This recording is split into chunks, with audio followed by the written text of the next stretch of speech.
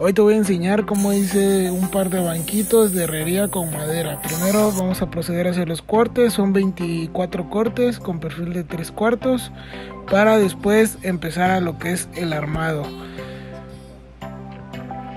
Ya tenemos los cortes, ahora voy a, puntear lo que son las puntas de nuestro perfil, ahí con ayuda de estas escuadras son dos, dos caras iguales que son los laterales y los dos de enfrente. Aquí vamos a colocar lo que son los posapiés los vamos a poner a 20 centímetros del piso igual punteamos y para después soldar completamente y pulirlo como se ve aquí en la imagen